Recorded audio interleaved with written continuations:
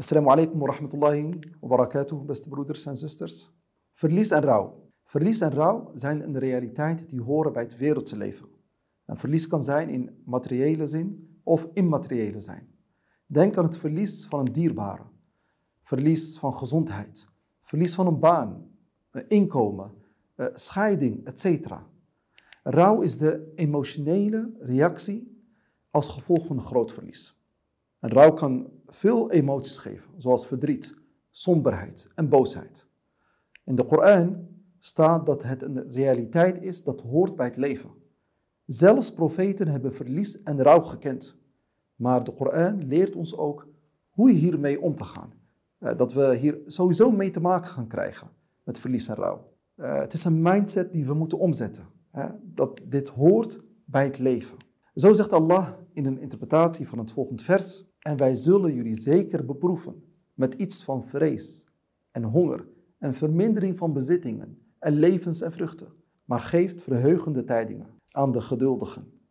Degene die wanneer een ramp hen treft, zeggen, waarlijk, aan Allah behoren wij en voorwaar tot hem zullen wij terugkeren. Inna lillahi wa inna ilahi raji'un. Twee dingen zijn belangrijk. Namelijk dat Allah subhanahu wa ta'ala belooft dat we hiermee te maken gaan krijgen, met rouw en verlies. Maar ook de belofte dat de beloning daartegenover staat voor de geduldigen. Soms, als je iets meemaakt van verlies, uh, het voelt intens, pijnlijk, dat je denkt dat er geen einde aan zal komen en geen rust zult voelen. En dat niemand begrijpt hoe jij je voelt. Misschien geven mensen je goed, uh, goed bedoelde adviezen of handvaten om ermee om te gaan en dat het niet helpt. Weet dan dat je niet de eerste en enige bent die dit ervaart. Je mag het voelen. Maar Allah zegt duidelijk dat je jezelf moet herinneren dat er een einde zal komen aan die pijn, of het in dit leven zal plaatsvinden of hierna. Maar er komt een einde aan. Er staat niet in het vers wanneer er een einde aan komt, maar wel dat er een einde uh, aan komt aan verlies of de pijn of het verdriet wat je voelt. Daar zal zeker een einde aan komen, maar niet wanneer. En weggaan zal het misschien niet doen, maar je kunt het wel verlichten, beste broeder en zuster. Rouw en verlies zijn kwesties van verdragen. Je moet het verdragen. Je kunt niks doen om het weg te, halen. Het is een kwestie van verdragen. En in de Koran vinden we ook voorbeelden van verlies en rouw. Voel je gesteund. Allah subhanahu wa ta'ala, die zegt in de interpretatie van het vers, er treft de aarde of jullie zelf geen ramp of het staat in een boek, voordat wij het doen plaatsvinden. En voorwaar, dat is voor Allah gemakkelijk, opdat jullie niet zullen treuren over wat jullie ontgaan is. En in een andere uh, interpretatie van een andere vers, er is niemand die een ramp overkomt zonder de toestemming van Allah. En wie in Allah gelooft, en wie aan Allah gelooft en overtuigd is dat, dat hij de ramp niet kan doen, zijn hart leidt hij. وَمَنْ يُؤْمِنْ بِاللَّهِ يَهْدِ قَلْبَهِ Allah subhanahu wa ta'ala die zal jouw hart leiden. En zal jouw hart rust geven. En zal het doen verlichten, de pijn en verdriet doen laten verlichten. De zonden worden gewist middels beproevingen. De profeet sallallahu alayhi wasallam zei, een moslim wordt niet getroffen door ongemak, ziekte, bezorgdheid, verdriet, leed, droefheid of zelfs de prik van een doorn of Allah wist hiermee een aantal van zijn zonden weg. En onze geliefde profeet sallallahu alayhi wasallam heeft in zijn leven ook verlies en rouw gekend. Zo verloor hij zijn dierbaren, waaronder zijn geliefde vrouw, Khadija, en een aantal van zijn kinderen in zijn leven. Hij heeft zijn geboorteplaats moeten verlaten, waar hij zijn jeugd heeft doorgebracht. Zijn oom en zijn vrouw Khadija stierven in hetzelfde jaar. Dat jaar werd het jaar van verdriet genoemd. En dit geeft aan dat er ruimte is om te rouwen en verdriet te hebben. We moeten alleen zorgen dat het ons niet verlamt. Een prachtig voorbeeld is dat hij Khadija altijd bleef herinneren en dat hij met bepaalde gelegenheden haar familie, vriendinnen, uh, kennissen wat toestuurde als cadeau.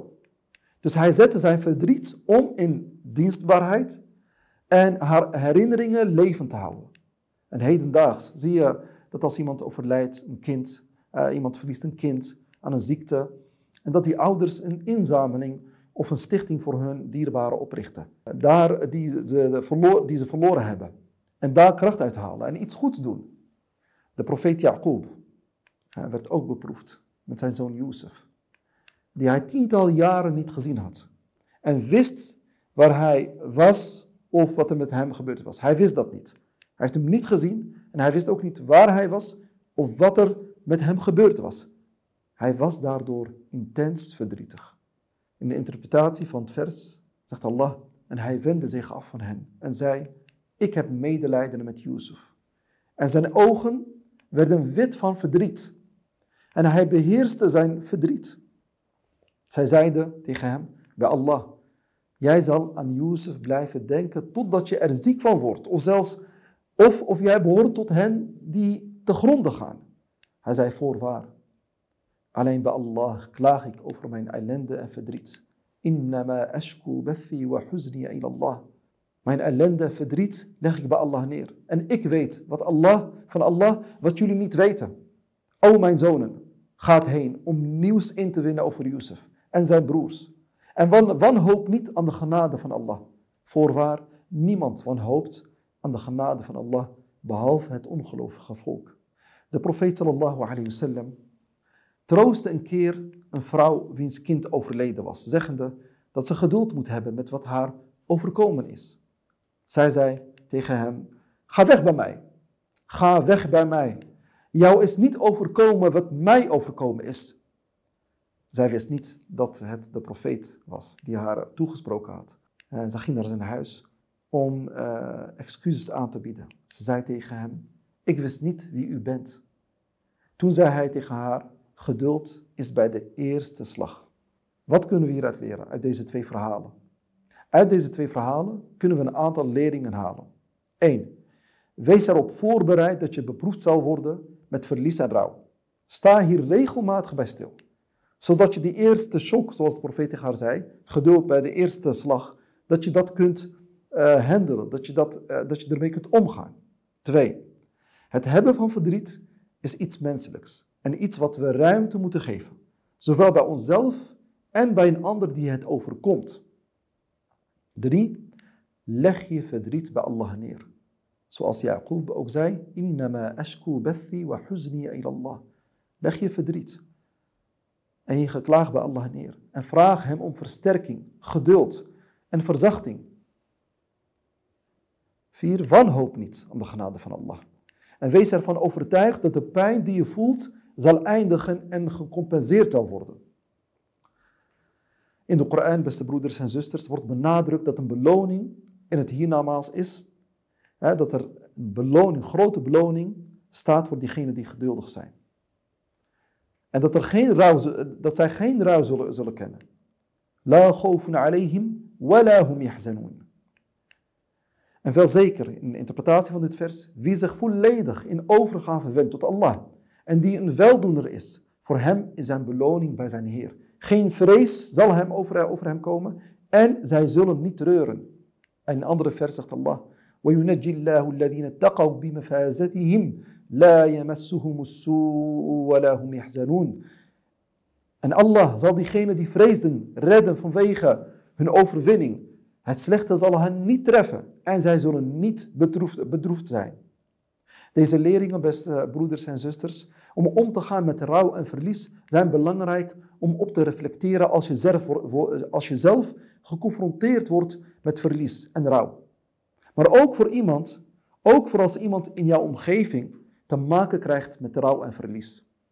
Zoals de persoon die het verlies treft dit moet kunnen verdragen, zo moet je ook als naasten kunnen verdragen dat iemand anders in rouw is of pijn heeft en dat je het niet weg kunt nemen. En dit vraagt dat je de ruimte kunt geven aan iemands emoties en er voor diegene kunt zijn, zolang als diegene het nodig heeft. Het is goed om iemand te herinneren aan geduld en andere lessen die we hebben besproken. Maar wees voorzichtig met het geven van bedoelde, goed bedoelde adviezen die iemand het gevoel kunnen geven dat het verdriet er niet mag zijn. Of erger nog, dat er iets mis is met zijn geloof. Probeer goed in te schatten wanneer een luisterend oor nodig is of een advies. Accepteer dat je het verdriet niet kunt wegnemen. maar wel er voor diegene kunt zijn. En weet, er is geen dilemma of probleem dat zich voordoet in jouw leven of de Koran kan verlichting brengen. Bedankt voor het luisteren. Barakallahu fikum en mogen Allah subhanahu wa ta'ala ons leiden op zijn pad en standvastig maken.